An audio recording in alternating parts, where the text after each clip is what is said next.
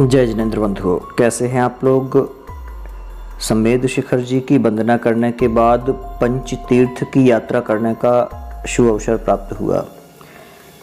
पंच तीर्थ में अलग अलग तीर्थों के दर्शन करते हुए हम लोग पहुँचे मंदारगिरी, जो कि अलग अलग नामों से जाना जाता है। मंदार हिल, मंदार पर्वत, बहुत सारे नामों से जाना जाता है। आप लोगों से वहाँ की स्थिति छुपी नहीं है।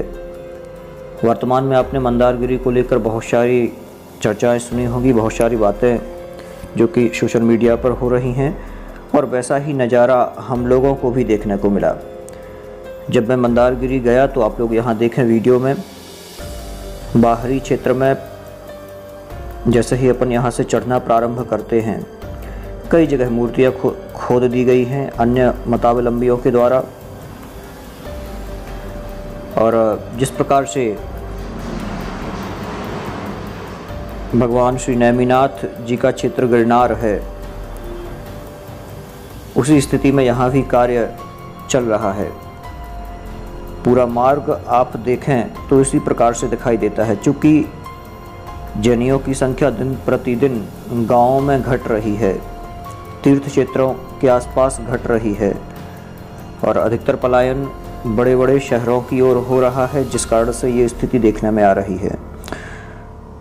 वर्तमान में हम सभी को चाहिए कि जो हमारे तीर्थ क्षेत्र हैं या प्राचीन तीर्थ स्थल हैं, इनका संरक्षण हो। नए तीर्थ बनाने की अपेक्षा पुराने तीर्थों के संरक्षण पर अधिक ज़ोर दिया जाना चाहिए। मंदार गिरी जो ये पर्वत है, यहाँ का नज़ारा देखते ही बनता है। देखें आप क्या सुरम्य पहाड़ियों पर सुंदर नज़ारा है। मंदारगिरी जो है, ये पोस्ट बौसी नाम से है, जिला इसका बांका बिहार है। भागलपुर से लगभग 50 किलोमीटर, देवघर से 75 किलोमीटर, बांका से 15 किलोमीटर की दूरी पर है। यहाँ लगभग मंदिरों की संख्या छः है और मूलनायक भगवान आपको पता ही है, भगवान वाशुपूज्य मूलनायक भगवान हैं। और देखें, यहाँ का नज़ारा देखते ही बनता है। मैंने पहली बार इतना सुंदर नज़ारा शमेद शिखर जी के बाद जैसे ही पंचतीर्थ की वंदना प्रारंभ हुई तो पंचतीर्थ में जैसे ही ये क्षेत्र मिला, बहुत अद्भुत नज़ारा था। ये मंदिर में जाने का मेन गेट है, जहाँ से मंदिर में प्रवेश किया। यहाँ भी कुछ अलग सा नज़ारा दिखा। मंदिर भव्य है, बहुत सुंदर है लेकिन जो यहाँ पर मुझे दिखे एक पुजारी, मंदिर के मतलब कि ये कहें कि पूरे दिन वहाँ पर रहते हैं तो वो मुझे, उन्होंने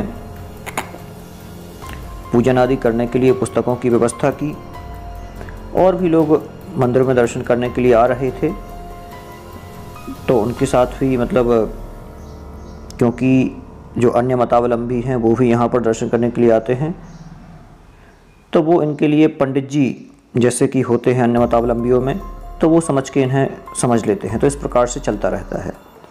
बहुत कुछ चीज़ें मुझे देखने को मिली जो यदि इसी प्रकार से चलता रहा तो मंदारगिरी जैसे क्षेत्र, जैन समाज के हाथ से चले जाएँ, ये कोई बड़ी बात नहीं है।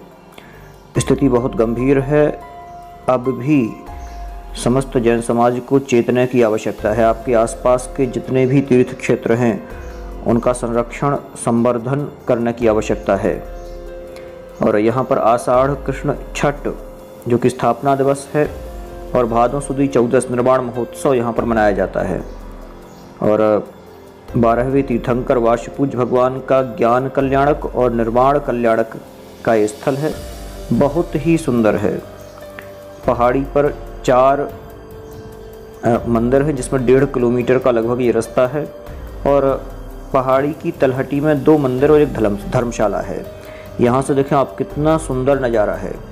बहुत ही भव्य जिन मंदिर और बहुत ही सुंदर नज़ारा। ऐसा लग रहा था कि इन पहाड़ियों पर ही निवास किया जाए। यहीं इन इन मंदिरों के आसपास इन नज़ारों को देखते रहें। गूगल मैप पर मंदार हिल दिखता है। आप लोग कभी भी गूगल मैप पर यदि सर्च करेंगे तो मंदार हिल नाम से ये सर्च होता है। और आपको यदि यहाँ पर पहुँचना है तो आप भागलपुर से वाई ट्रेन या वाई बस भी आ सकते हैं। लगभग 50 किलोमीटर की दूरी पर है। जशी डीह नाम से एक जगह है, वहाँ से देवधर से सड़क मार्ग से भी आप आ सकते हैं। 115 किलोमीटर है। ट्रेन से देखें तो मांडे हिल आधा किलोमीटर दूरी पर ही है, बिल्कुल बगल में। पहाड़ से दिखाई देती है ट्रेन, मैंने अभी दिखाया भी था। मंदिर देखें कितने सुंदर हैं, बहुत बढ़िया मंदिर हैं। लेकिन मंदिर के बाहरी जो एरिया है, वहाँ पर बहुत ज़्यादा ये कहें कि अब अतिक्रमण होने लगा है। अपने अपने मतों के हिसाब से मूर्तियाँ बनाने लगे हैं लोग। पत्थरों को खोद कर मूर्तियाँ बनाई जा रही हैं। अपना ये कहें कि दिगंबर जैन समाज या फिर जैन समाज के लोग कम जाते हैं। ये भी कारण हो सकता है। और बहुत सारे कारण हैं, क्योंकि हिंदू समाज में भी मान्यता है कि जो ये मंदार पर्वत है, ये वही पर्वत है जब समुद्र मंथन के समय पर जिस पर्वत का प्रयोग किया गया था। तो उसके कारण से भी हिंदू धर्म में की मान्यता के कारण से बहुत सारे हिंदू लोग भी, जो हिंदू धर्म को मानने वाले हैं, वो भी लोग यहाँ पर आते हैं। और इस प्रकार से देखें आप एक एक मंदिर के दर्शन करके आप लोगों को एक एक मंदिर के दर्शन करा रहे हैं एक एक मंदिर ले जा रहे हैं। ये केवल ज्ञान कल्याणक स्थली है। तपो, तप कल्याण अलग अलग कल्याणक जो बने हुए मतलब यहाँ पर हुए हैं, उन कल्याणकों के हिसाब से यहाँ पर एक एक मंदिर बनाए गए हैं। बहुत ही सुंदर मंदिर है। ये चरण चिन्ह है, बहुत प्राचीन है। आगे चलते हैं। वीडियो रिकॉर्ड करने की मैंने बाद में सोची थी कि हाँ यहाँ का वीडियो बनाना चाहिए। कमेटी की व्यवस्था बहुत अच्छी है। आप लोग यदि देखें तो बहुत अच्छे से बनाया है पूरा क्षेत्र सिस्टमेटिक ढंग से हर चीज़ बिल्कुल। यात्रियों को किसी भी प्रकार की असुविधा ना हो, इसका पूरा ध्यान रखा है। कमेटी का कार्य बहुत अच्छा है। लेकिन कमेटियों को अन्य सभी लोगों के सहयोग की आवश्यकता होती है। यदि हम सभी का सहयोग और भी अच्छे तरीके से बना रहे तो यह क्षेत्र दिन दूने रात चौगने प्रगति करेंगे देखिए, यहाँ जो अपन ले जा रहे हैं, ये तप कल्याणक स्थली है, तप स्थली। तो यहाँ पर भी अभी एक विवाद देखने को आया था, जो कि यहाँ किसी ने ये पोत करके और अपना कुछ लिख दिया था। तो ये भी बिल्कुल से गलत है, क्योंकि जैन धर्म की विरासत बहुत प्राचीन है, इसे मिटाने का प्रयास बिल्कुल भी नहीं किया जाना चाहिए। और जो भी अन्य मतावलंबी हैं, वह भी यह समझें कि ये सब आज के नहीं हैं। हज़ारों साल प्राचीन धरोहर है जो जैन धर्म से संरक्षित है। देखें आप, मंदिर का नज़ारा इस साइड से बाहर की तरफ़ निकले हैं, वहाँ से दर्शन करके और सब कुछ रुकने की भी व्यवस्था बढ़िया है। यहाँ से लगभग पाँच किलोमीटर दूर और मंदिर है, वहाँ भी आप लोग चाहें तो वहाँ रुक सकते हैं। या फिर वहाँ से भी निकल करके और आगे जिन तीर्थ क्षेत्रों की आप वंदना करना चाहते हैं, वहाँ पहुँच सकते हैं। धीरे धीरे आगे बढ़ते बढ़ते और आगे और आगे को हम लोग निकल आए। बहुत ही सुंदर, बहुत ही भव्य, बहुत ही आकर्षक मंदिर देखने को मिले। एक एक मंदिर अपने आप में ही बहुत अद्भुत था। यहाँ से जैसे ही मंदिरों के दर्शन पूरे हुए तो नीचे से ही एक रास्ता था। क्योंकि मैंने एक और वीडियो बनाया था वो वीडियो चला नहीं प्ले नहीं हुआ जिस कारण से थोड़ी सी प्रॉब्लम रही। तो यहाँ से साइड से ही रास्ता था। उस वीडियो में बहुत सारी चीज़ें आप लोगों को देखने को मिलती। और वहाँ से नीचे की ओर ये बढ़ने लगे। मतलब कि फिर दोबारा मंदिर में पीछे नहीं जाना है एक दूसरा गेट है नीचे साइड आने का। तो वहाँ से हम नीचे की ओर और, और सीधे आ गए।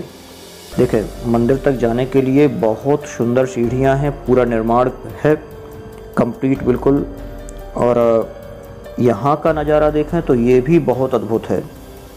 आप लोग जैसे ही पहाड़ी के नीचे साइड का नज़ारा देखते हैं तो यहाँ तो और बहुत ही सुंदर नज़ारा देखने को मिलता है। और आगे चलते हैं। नीचे की ओर उतरते जा रहे हैं। और जहाँ पर कि आपने एक बहुत बड़ा सरोवर देखा था उस ओर आगे बढ़ रहे हैं। चूँकि जैन धर्म की धरोहर बहुत प्राचीन है, इसका रखरखाव जैन समाज को ही करना है। इसी प्रकार से संरक्षित और संवर्धित किया जाए। ये यहाँ देखें आप। ये जो दिख रहा है, ये रोप वे है। रोप वे से आप चाहते तो रोप वे से भी जा सकते थे, लेकिन उस टाइम पर हम लोगों को रोप वे बंद मिला था। तो रोप वे से नहीं जा पाए थे। यहाँ पर देखें, एक कुंड आपको दिखेगा। इस कुंड की भी प्राचीनता है और ये कुंड भी जैन धर्म से संबंधित है। लेकिन धीरे धीरे हमारे हाथ से बहुत कुछ यहाँ से निकलता जा रहा है। देखते चले आप, यहाँ मैंने जूम करके दिखाया है, सरोवर है। सरोवर के मध्य में मंदिर है और भी बहुत सारी चीज़ें हैं, देखने लायक हैं। मंदिर की मान्यता है कि यहाँ से स्नान करने वाले जो भी लोग हैं, वो अपनी सब व्याधियों को दूर करते हैं। उनके जो रोग आदि हैं, वो नष्ट हो जाते हैं। इस प्रकार की एक मान्यता है। उसी ओर आगे बढ़ रहे हैं। यहाँ का नज़ारा बहुत सुंदर था। इसलिए लगभग पाँच मिनट का वीडियो आपको ऐसा मिलेगा कि जो आपको यहाँ से जाने का मार्ग भी दिखाया जाएगा। आगे देखें, ये जो दिख रहा है रोप वे रोप वे में लगभग अस्सी रुपये इसका किराया था और लगभग चार पाँच मिनट में वहाँ से पहुँच जाते। लेकिन हम लोगों ने तो निश्चय ही किया था कि जैसे ही हम यहाँ आएँगे तो रोप वे का प्रयोग नहीं करना है। जैसे सम्मेद शिखर जी की वंदना पैदल की थी तो ऐसे ही यहाँ की भी संपूर्ण वंदना पैदल ही करने का विचार किया था। भारत देश में बिहार राज्य में कई ऐसे तीर्थ क्षेत्र और मंदिर हैं, जो कि जैन धर्म की प्राचीनता को लिए हुए हैं और उनकी धरोहर हैं। भगवान वासुपूज्य स्वामी की तपस्या केवल ज्ञान, निर्वाण स्थली, मंदारगिरी बहुत ही सुंदर है। आप जिस जिस स्थान पर जाएँगे, आपको एक अलग एनर्जी, एक अलग अनुभूति होगी। हम लोगों ने लगभग यहाँ पर ये माने कि चार से पाँच घंटे बिताए। ये जो तालाब दिख रहा है, तालाब के पास भी लगभग एक से दो घंटे तक यहाँ बैठे थे, चूँकि तालाब में पानी कम था और तालाब की साफ़ सफ़ाई भी बहुत आवश्यक है। और स्थल अच्छा है, एक आम सूचना यहाँ पर लगा दी गई है। जो भी तालाब के किनारे आते हैं तो यहाँ हम लोगों ने भी बैठ कर के और बहुत समय व्यतीत किया था। यहाँ पर देखें, ये कुछ लिखा हुआ है, जो कि मंदार क्षेत्र टाइप से तालाब में बहुत सारी मछलियाँ थी। देखें, यहाँ पर दाना डाल रहे हैं मछलियों के लिए जो चावल थे तो चावल बचे हुए जो थे, वो डाले हैं।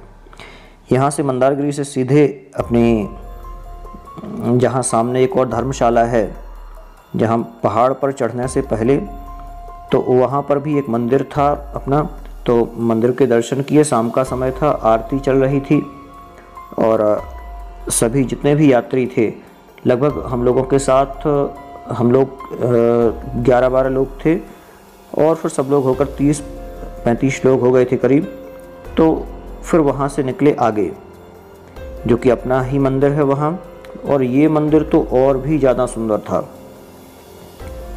जैसे ही हम लोगों ने मंदिर के दर्शन किए, मंदिर के अंदर गए तो देख कर लगा, वाह, क्या भव्य जिन क्या भव्य जिनबिंब है।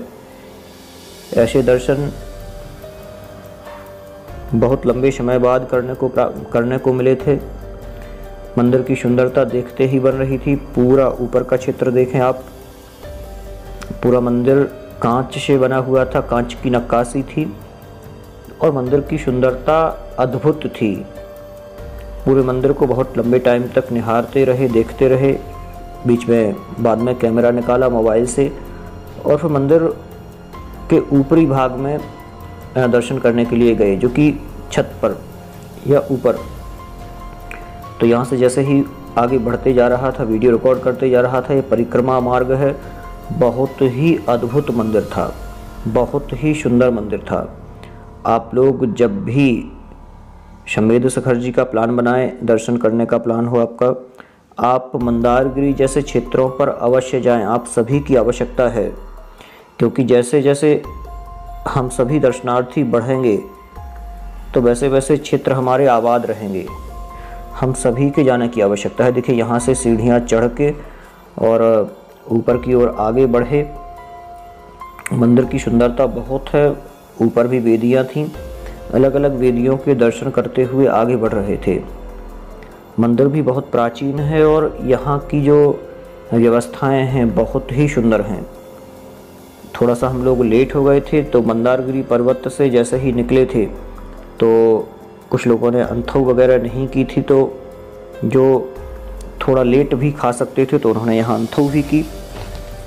और हम लोगों ने तो मतलब कि फिर कुछ खाया ही नहीं था यहाँ। और फिर जैसे ही दर्शन कंप्लीट हुए यहाँ से और यहाँ से निकलना हुआ। आप लोग जब भी इस प्रकार का प्लान तैयार करें तो उसमें अपना मंदारगिरी क्षेत्र ज़रूर रखें। हम लोगों को बहुत अच्छा लगा और ये अपील मैं आप सब लोगों से कर रहा हूँ कि आप लोग भी मंदारगिरी अवश्य जाएँ। और मंदारगिरी ही क्या? मंदारगिरी जैसे जो भी छोटे छोटे से तीर्थ स्थल हैं, आप लोग अपना दान भी अवश्य करें। जितने भी पैसे दे सकते हैं डोनेट कर सकते हैं, जितने अतिशय क्षेत्र, सिद्ध क्षेत्र हैं, उन सभी को पैसों की आवश्यकता है, संरक्षण की आवश्यकता है। मैं जहाँ से हूँ, मेरे यहाँ भी अतिशय क्षेत्र है। ऐसे अतिशय क्षेत्रों को मुझे लगता है देख के कि हाँ यहाँ पैसे की आवश्यकता है। तो आप वहाँ बराबर दान दें, जिससे कि जहाँ भी उन्हें लगता है कि यहाँ हम अपना पैसा लगा सकते हैं। निर्माण कार्य अलग है। लेकिन संरक्षण कार्य में जहाँ भी आप पैसा दे सके, अलग से आप बोलें कि आप बाउंड्री बाल बनाने के लिए हमसे पैसे लें। आप बाउंड्री बाल बनवाने के लिए पैसे दें, जिससे कि संरक्षित तो हों क्षेत्र। ये कोशिश करना है। बहुत